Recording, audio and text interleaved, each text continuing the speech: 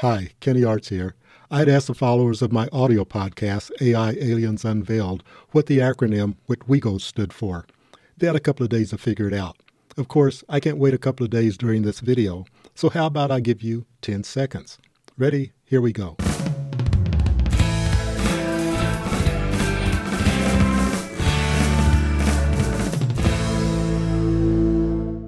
WITWIGO is a question you probably heard and may have asked yourself.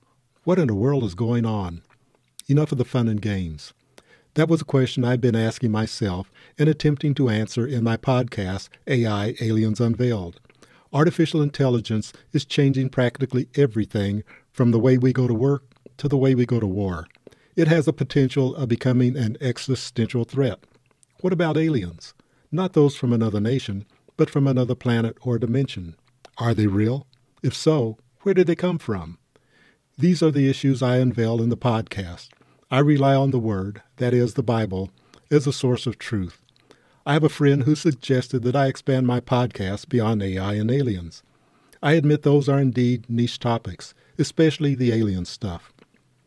I know my friend's trying to help me reach a larger audience.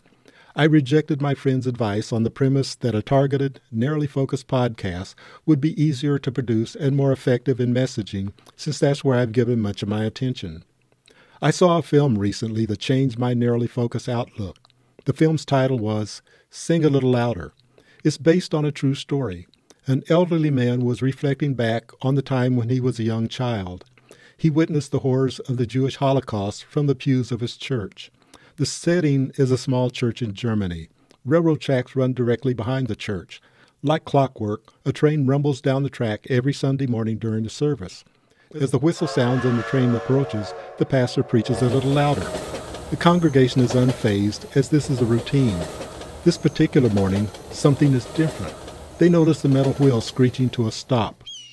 From inside the church, they hear human cries and wailing echoing off the stone walls.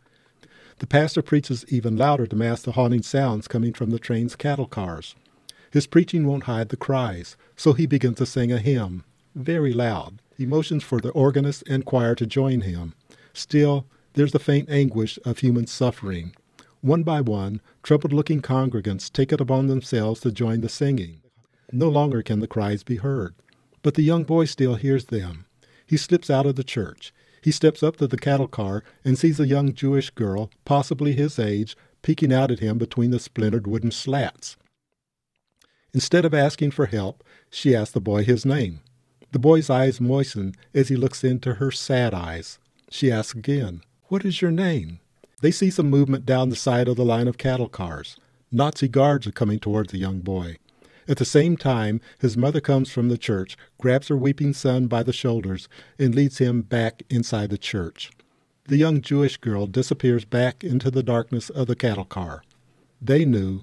Now we know her destination and fate.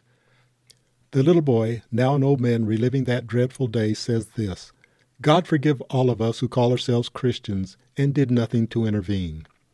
The film ends with these words from the Bible rescue those being led away to death.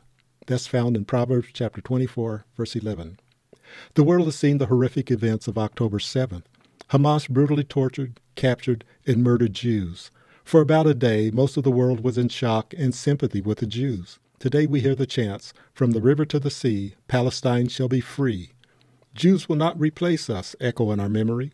Groups hailing Hamas as terrorists and freedom fighters, and other dreadful words calling Israel the little Satan and America the great Satan. A wave of anti Semitism is sweeping around the world. Here in America, on college campuses, on the streets of our cities, in the halls of Congress, even from some pulpits, people are sowing seeds of hatred against the nation of Israel and Jewish people around the world. We who claim to know Jesus, the Jewish Messiah, cannot remain silent. To put it another way, we cannot sing loud enough in our churches to drown out the shouts against the Jews in the public arena. We must act. My friend was right. There are things I could talk about other than AI and aliens, things we all as believers can say and do. That doesn't mean we have to quit our jobs or cancel our podcast and become full time activists for Israel. But whatever platform we have, we need to use it in support of God's chosen people. If you would like to help, please subscribe, give this a thumbs up, and click the notification bell for updates. Also, check the show notes for resources. Think about this. Today, the Jews, maybe tomorrow, the Christians.